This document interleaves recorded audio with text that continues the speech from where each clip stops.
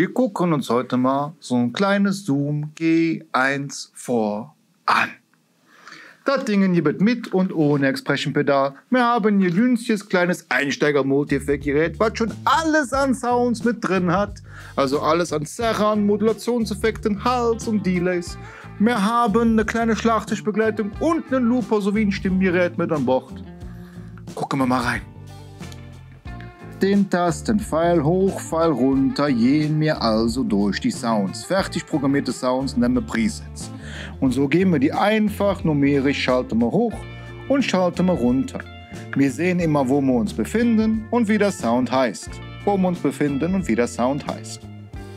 Mit dieser Taste hier sieht man den Kreis schon so angedeutet. Gehen wir quasi im Kreis zwischen den gespeicherten Sounds, da sind wir gerade, den einzelnen Effekten zum Durchschalten oder das Ganze zum Einstellen. Das heißt, jetzt bewegen wir uns durch die Presets. Jetzt hören wir uns quasi der Reihe nach die einzelnen Effekte an. Und jetzt würden wir quasi einfach nur die ganze Signalkette einmal durchsteppen, für zu gucken, was es da alles Schönes gibt. Die, unsere Kette besteht aus 1, 2, 3, 4, 5 Tretern zum Beispiel. Und wir wählen jetzt, welcher Treter, welcher Effekt auf Knopf 1 ist, auf der, äh, der ersten Position in der Signalkette und auf der zweiten Position und auf der dritten Position, auf der vierten, auf der fünften und so weiter und so fort. Wir vergeben also die einzelnen Positionen, stellen diese ein und haben so ein Preset gebaut. Dann haben wir Schlagzeug und wir haben einen Looper. Sobald wir in den Loop-Mode gehen, haben wir hiermit immer eine Taste Record, bis wir sagen Stop und eine Taste Play, bis wir sagen Stop.